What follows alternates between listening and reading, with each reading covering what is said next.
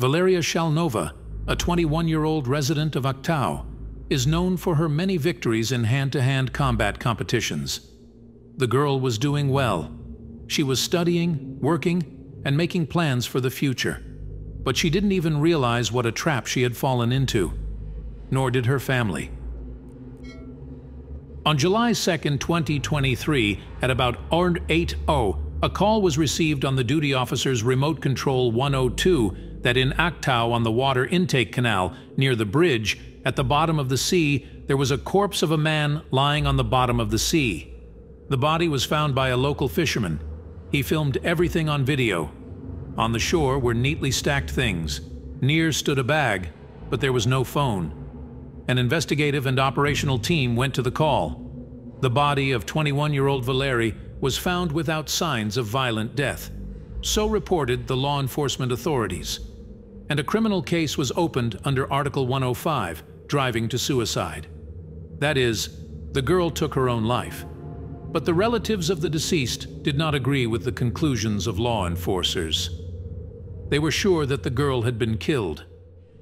And there were reasons for this, such as the testimony of the fisherman who told the relatives that the girl had obvious signs of strangulation on her neck, that she was covered with bruises, also, the sister of the deceased reported that they personally saw that her nose was crushed, numerous hematomas on her body, a hematoma on her head, that there were signs of strangulation on her neck.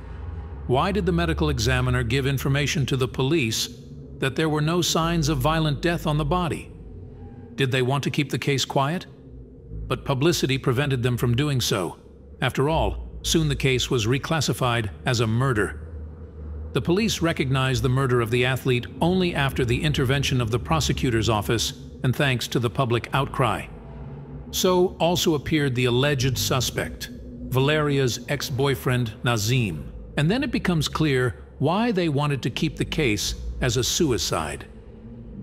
According to the sister of the deceased, Valeria Shalnova, the medical forensic expert who examined the body is an interested party, a good acquaintance of the murder suspect, Therefore, despite the obvious signs of violent death, the autopsy was conducted not on the first day, but on the second. He deliberately postponed the autopsy to the next day, and on the first day, he did not let anyone in to identify her.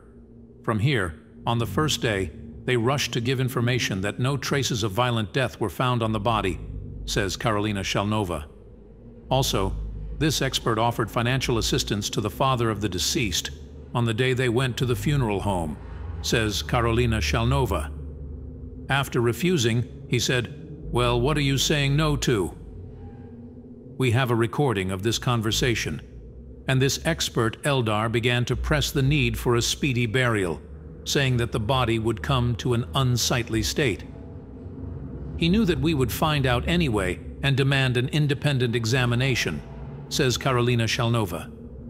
These accusations were commented on by the Institute of Forensic Expertise of Mangistau region. The information circulating that the autopsy was carried out by a forensic expert named Eldar is untrue. We do not have such forensic experts. As for the suspension of the forensic expert, this decision is made by the criminal prosecution bodies. Also, in social networks there is information that the histologist is on vacation, this is also untrue. According to the current legislation, the period of body examination can last up to 30 days. We have appointed a commission. Experts from Aktobe region will be invited. We suggested to the lawyer of the injured party to involve their representative. As a rule, it can be a doctor who will be present during the autopsy and selection of materials. The injured party has such a right, but the decision again is made by the criminal prosecution bodies, commented in the Institute of Forensic Expertise of Mangistau region. And so, we've dealt with it. The family of the deceased got a criminal case under the article of murder. Let's see why Valerie Nazim's boyfriend turned out to be a suspect. From the first days when they found the body of Lara, relatives suspected her boyfriend with whom she was in a relationship for more than two years the fact that the couple broke up a few months before the tragedy. And all these months Nazim stalked her, and later it turned out that he was still manhandling. Also at the scene of the incident was not found Lara's cell phone, it was at the same Nazim. And then the puzzle was put together that Nazim was involved in this tragedy. The fact that on July 2nd, allegedly, Valeria sent a suicide message to her sister and mother. It surprised the relatives that they wrote only to her sister and mother.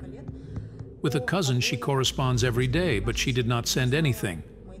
Also, according to the results of the autopsy, death occurred at 5 Ozoord in the morning, and the messages were sent at 06 Ozoord. Nazim himself says he brought her to the place where the body was found. They had a fight. He took the phone and left her, and then came back and could not find her. That's how he became a suspect. What happened on the night from the first to the second, and the following happened. Shocking details were told by Lara's sister. Valeria's sister, Caroline, spoke in detail about what exactly proves the guilt of the convict, so that not only the investigation but also the public was aware of the evidence base. My sister broke up with the defendant three months before the crime. They had previously dated for several years. Our family did not know about the beatings and everything else. It became known only after everything happened. My sister was an athlete, and if there were any bruises on her body, it was all written off as training. No one was suspicious. Plus, Nazim always behaved like a fluffy dandelion in public. All in all, he seemed harmless. That day, when all this happened, he came to our house in the 6th neighborhood and tried to make up with her. She sent him away and then went to work at a cafe. At 1.30, she left the cafe, the security cameras recorded. Before that, he called her and said, Okay, let's not fight there. I'll give you a car, and you can go for a drive with the girls. She liked to drive, so she apparently agreed to take the car, said the sister of the deceased. The fact that Valeria planned to meet with her friends, they themselves confirm. That evening, she wrote to them that her ex would give them a car and they could go for a drive with the girls. The girls had already gathered and were waiting for Valera to call her and tell her where to come. It turns out that she leaves the cafe where she worked, gets into the car with him, and they drive without stopping towards the canal. This is all confirmed by cell phone billing, the fact that from the cafe and to the canal, they drove without stopping, and their phones were together the whole time. After they reached Shora, they stopped there for 20 minutes. After that, Nazim's car drove towards the Mike Vodokanal at a tremendous speed. He got there literally in a few minutes, you know, uh, at what speed he drove there. After that, he stayed there for a while and went to the city bypass, started to create an alibi for himself, says the girl. At that time, the convict called the very same girlfriends and asked them, Where is Valeria? He said he couldn't find her anywhere. In fact, what happened? In those 20 minutes when he stopped closer to Shora, what happened there was that he apparently stunned her as she did not resist, raped her, then drove towards Make, strangled her to the end, and threw her body into the water with the hope that the body would be carried away to the water channel, and no one would find it there. But by the law of meanness, the body was close to the shore, where there was no current, which is why the body was not carried away. After that, Nazim took my sister's cell phone and drove along the bypass, creating an alibi for himself in the city. At about 6 a.m., suicide messages were sent to me and my mother from her phone. At that time, he was standing in the 6th neighborhood, actually near our house, and sent them to us. The investigation figured it out. A few days later, they found the phone on the defendant's person, and then I made a fuss, and he was detained, Carolina said. In the Telegram channel, Valeria Shalnova, her sister tells about all the nuances of the case including the version of the convict himself. For so long he refused to testify. He only testified at the final session, and he was talking such nonsense. He couldn't have come up with something more believable. According to the killer's version, he met my sister from work, and they decided to go for a drive. When it wasn't rape, he didn't say anything about them being intimate. Then he says they drove out, drove into the 13th neighborhood, and had intercourse there. although, according to the billing records, he didn't go to the 13th neighborhood. They drove on to the canal, where my sister said she wanted to go out to pee and was embarrassed by him, so she went under the bridge. Under the bridge? Not under the pipe where the body was found, but under the bridge. Also, inconsistent. She'd been gone a long time. I went down to look, and she'd undressed and said she wanted to go swimming. Then they had a fight. He got angry, shook her by the shoulders. She jumped into the water, went swimming. He wasn't afraid she would drown as he knew his sister could swim. And he took the phone and left. And then, when he woke up, he came back, and she was not there. This is his version, said Caroline. Her sister and relatives had no doubts that it was the girl's ex-boyfriend who caused her death from the first day. Later, the investigation was convinced of this version, and then the Interdistrict Criminal Court of Mangistau region, which sentenced the man to 22 years of imprisonment in a strict regime colony. Nevertheless, the defense and the convict himself continue to insist on innocence, and an appeal hearing will be held in the near future. Why was I sure from the beginning that it was him? When I received these strange messages, we're talking about posthumous texts that were sent, presumably by the killer after her death, I called, You'd be surprised. But it was Nazim, because he never left her for a second. He had her on 24-7 watch, he monitored her emails, he had all the passwords to her accounts, which he hacked, and he confirms it himself. I have a voicemail where he says to me, Caroline, yes, I'm reading all her correspondences. I called him and said, Where is Valera? Addressed to Valeria Shalnova by relatives. Author's note. To which he replied, I don't know. I was looking for her myself all night. I told him to get up and go look for her further, in case something happened, something suspicious. He agreed, said he would go. Two hours go by, I dial him again, I ask him if he found it, and he says, I fell asleep. Here, tell me, what loving guy who begs forgiveness, who has always been in control when his girlfriend is missing, will go and go to bed quietly? Only the one who knows she's gone, Caroline said. The girl says that when she learned that Valeria was found dead at the water channel, she again contacted the defendant and told him the unfortunate news. In response, the convict recorded a tearful voice message. I have a recorded message where he cries and says that he persuaded her to be more careful and is very sorry. And then girls I know forward me a voicemail from him where he says, Yes, I know, and that she was drinking all the time. She liked to sit on the rocks, so she died. These are the words of a loving man who was very worried about his girlfriend, says Carolina. Also, according to the sister of the deceased, audio recordings of the defendant's telephone conversations in the pre-trial detention center.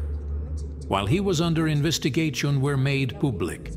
In them, according to Carolina, he pursued his acquaintances to come and testify about what a decent and wonderful person the defendant is, and at the same time, to defame Valeria's reputation. Only after the death of the girl, her relatives discovered the terrible truth about what the relationship between Valeria and the defendant really was. Ironically, while the hacker from the investigation team was trying to open some moments in the phone, I wasted no time and got into her laptop. The password to the mail picked up absolutely randomly. It was the same as mine. When I opened her VK, I saw that all correspondence is cleaned, that is, the account of the defendant at that moment was online. His guys were sitting there and clearing out all the correspondence because he was in the pretrial detention center at that moment and he was logging in from his computer. He couldn't do it himself. I started looking and there was practically nothing. Everything was deleted, but my sister, she was 10 teams smarter than the defendant. She was gathering dirt on him because she had previously contacted the police about him stalking her, but they did nothing. Apparently, she was going to file against him again with more evidence that he was stalking her, beating her and so on. And I found a hidden folder on VKontakte with all the saved correspondence, audio recordings, videos saying that he was beating her, strangling her, and all that kind of stuff. It said that he was chastising her, accusing her all the time of cheating on him, reading her correspondence. Everything was recorded. There were recorded beatings, where she had a black eye, pictures she sent to her friends. There were descriptions of an incident where he got drunk on New Year's Eve and choked her so hard he almost killed her. Now, these choking moments were, I gather, frequent. Subsequently, on the day of the murder, he also strangled her. I also got voice recordings of police in action. As they say, no body, no case, Caroline said. Long eight months of investigation and trials ended with a guilty verdict. According to the victim's lawyer and her relatives, the judge sentenced the defendant to 22 years imprisonment in a strict regime colony. The accused, according to the relatives of Valeria, did not recognize his guilt. And note that the relatives of the deceased when accused, the investigators of bias. In the police of the region, until the last time it was not recognized. But soon it became known. By decision of the Disciplinary Commission, two employees who investigated the death of the athlete were relieved of their posts. Support the video with a like and the channel with a subscription. And all the best to you, be careful.